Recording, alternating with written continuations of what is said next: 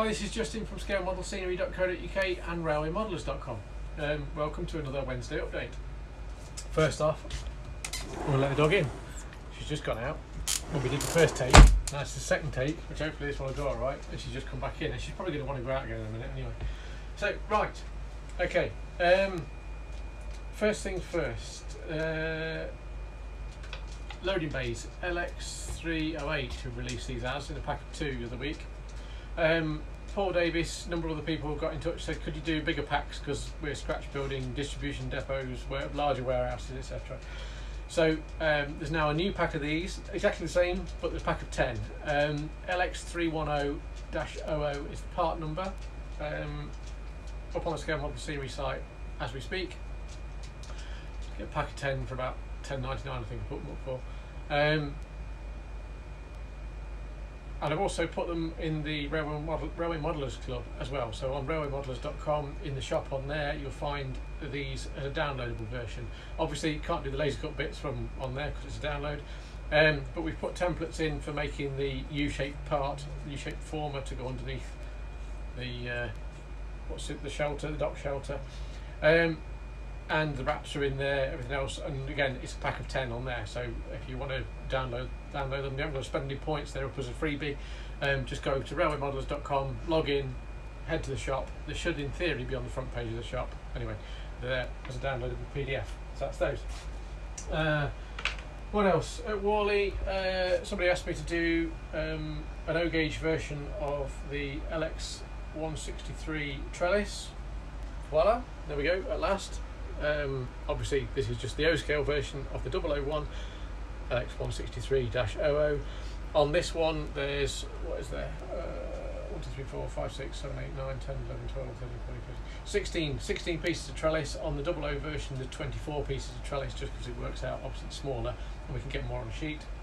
Um, but this is ideal for detailing gardens and things like that, sides of buildings and houses on an O scale layout, and same with the 00. Don't think I could do it in N, but I might have a go one day. Uh, but that's available on the Scale Model Scenery site. Uh, been having a chat to a chap called Jordan on Facebook Messenger uh, quite a bit this week on about platform edging. Um, obviously, we do the LX213 platform edging, uh, network rail platform edging, which works with Peco's LK62 platform facing uh, packs. I've now modified this because obviously he doesn't want to use the Peco stuff, he wants to upgrade his Hornby uh, platforms. So I've done this now with full-sized network rail copings on here. So it's about a millimetre wider than the, the other one, than the one for the LK62. Um, it'll be the same price. Part number for this is LX312. It's up on the site, I think. I can't remember. I think I've done it. I think I think I've published it anyway. It Should be on the site on Scale Model Scenery.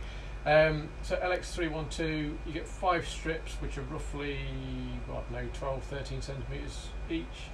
Uh, so you get quite a bit in there actually. Um, I will get Ian to do a demonstration of this, um, upgrading the Hornby platform with this. Obviously with it being 0.8 mil thick, you'll need to use something of equivalent thickness to raise the rest of the platform up. It shouldn't give you too thick a top platform surface. It should look fine when it's glued to the Hornby platform. You'll just need something, obviously, otherwise you'll have a big ledge going up to this paving, but I hope that makes sense. Um, it does in my head, but um, whether it makes sense on camera, I've no idea. Uh, one thing I will do on these also is because the um, tactile paving texture is quite fragile on these, just because we removed that much much material, um, each of the little pimples or raised sections is very, very delicate. I would recommend painting these the moment you take them out of the packet. So until you're ready to use them, leave them in the packs so they're protected. Um, when you're ready to paint them, uh, just give it a quick coat of Halford's car primer, grey primer, or give it even seal it with a matte lacquer, clear matte lacquer, just to seal the detail on before you start manhandling it, you know, and position it on your layout and all the rest of it. I'd hate for you to damage it before you start using it, so um, give it a quick coat of lacquer or, or primer before you start, just to protect it a little bit more. Uh, what else have I got to say? Um, that's probably about as far as kits are concerned so far this week. Um, we're a little bit busy behind the scenes. Oh, I've got a tidy desk. At last I have a tidy desk. Look at that. Look. I've actually got very, very little paperwork on there now. How impressive is that? So I'm, in, I'm determined to keep it tidy now. Anyway, um, the other things, uh, still continuing the Oxford clearance. I found another box in the bottom cupboard the other day, so we've got a few more things that been added to the site. These are all reduced to clear. I'd like them gone as quick as possible, please. Um, it's some brilliant stuff actually. This is really nice. Um, it's the one I used to demonstrate the loading bays the other day. Eddie Stobart or Stobart, depending on how you want to pronounce it. Uh, Scania Highline curtain side, that's up. Um, they've been reduced pretty much rock bottom prices to be honest. They're almost trade price now on the site. Um, we've got a RAC Rescue Mark III Transit. Uh, got a rather nice vintage Ford Transit Mark One Beaver Tail, which is really nice. Um, in fact, we've got three of the three of the Mark Threes going. Uh, we've got British Rail Mark III Transits. Got a couple of those. Uh, got more Mark Threes, which got uh, where are they? Somewhere down here. Which one is it? Which one is it? Um, that's not the Mark III. That's the new one. That's the Mark III. Got some Mark III Royal Mail transits as well. Got three of those to go. Again, all rock bottom prices on the website. We've got some Mark IV transits in Royal Mail, high roof and low roof. Got a high roof uh, white Ford Transit, which is right for customisation, sticking uh, what's it transfers and stuff all over. Um, then we've got the last two. Um, probably won't do any more of these. The last two remaining scale model scenery um, Morris Minor vans in a mush kind of mushroom colour. Um, sandy beige, but mushroom if you ask me. Uh, so there's two of those with our little transfers on the back, as if we were around in the 1960s or whatever. So they're right, they're available. Um, and then we've got three ambulances. We've got an Oxford uh, Welsh ambulance. We've got two Welsh ambulances there, and we've got a London ambulance. So all these have been reduced. I could do with them gone as soon as possible if you can, please, because I would really like to have some space in the bottom cupboard there so I can get sorted um, before we move. Still working on uh, trying to find a unit and various other things, and we're off back down to Southwest this weekend to have a look at a house, hopefully. Fingers crossed. Anyway, I'll have a drive around again and take Ollie back. Ollie's been in here all week and all last week helping Tina pack parcels. He's done a brilliant job. It's been nice having him. Um, we'll miss him next week, I think, because we're back to just the three of us, and it'll be uh, slightly busier, especially as we're getting ready for Stafford, which is on the first and second of the month of February. Um, so that's going to be fun. Uh, oh yes, and the other one is this one has been converted. It's one that Adam upgraded a while back. It's the uh, BRS Ford Cargo box van, which is upgraded to working hazard lights. And I'll just see if I can switch them on so you can see what see them in action. The box on this one is a little tatty again, and I, I say I've reduced these to rock bottom prices, so you can grab yourself some bargains tonight if you want to. Um, let me slide these off. There. And underneath there's a tiny little switch. If I flick the switch, you should just about see the hazard lights flashing there, and the same on the back. There. So that's battery powered. Um, you can replace the battery pretty easy, just unscrew the two screws holding the body or the, the rear box on and it's a kind of one of the flat, what's it, coin size batteries in there. So that's been upgraded, that one. Uh, so it's a bit more expensive than it normally is, but we've reduced the prices, if that makes sense. Um, just so I can get my cupboard clear. So that is pretty much it, I think. Um, don't think there's much else to say. Um, no, uh, another base. Oh, uh, yeah, baseboards. Um, you may have seen in BRM magazine this month, uh, in the new issue, Phil Parker's doing a, a part work based on a layout in the box. He's used our BB20 baseboards for those. Um, I've not got them on the site yet, and I did promise to demonstrate after Warley. We've had some orders come in via BRM for those, and I'll get the BB20s up in the next few days. As soon as we've cleared the first batch of BRM orders for BB20s, I'll get them up on the main website. Um, but we've got some here ready to pack up for those orders, and we're cutting them as quick as we can. Um, so I'll get those up. They're the same as the BB17s, but they've got no end panels on.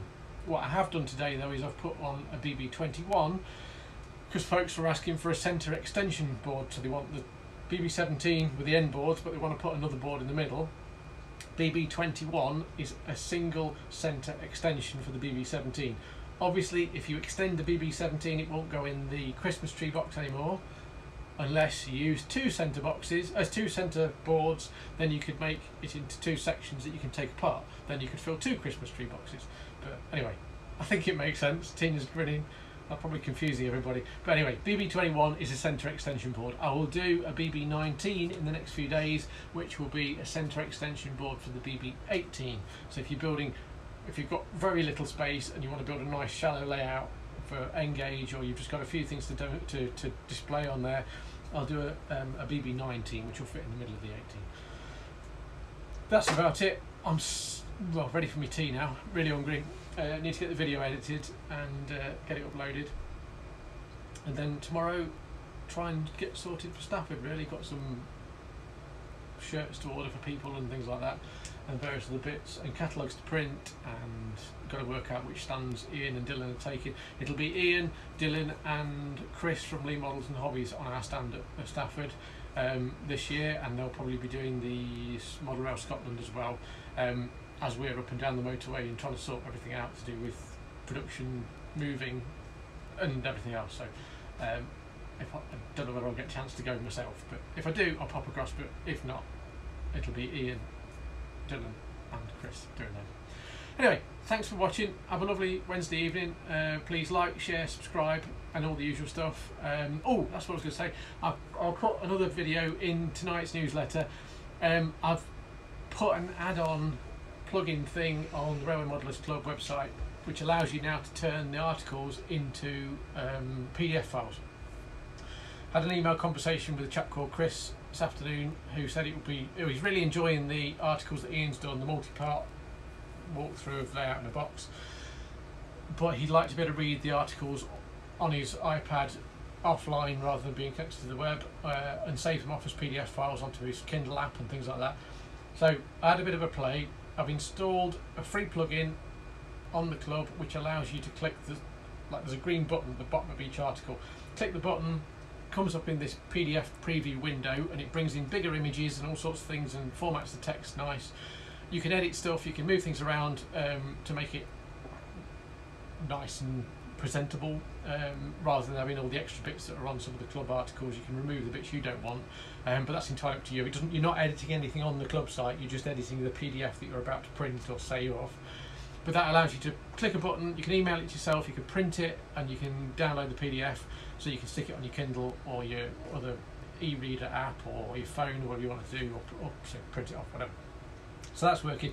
Um, if you notice any problems with it, I've tested it myself this afternoon. I've done a quick video of how it works. I'll put that in the newsletter below this video.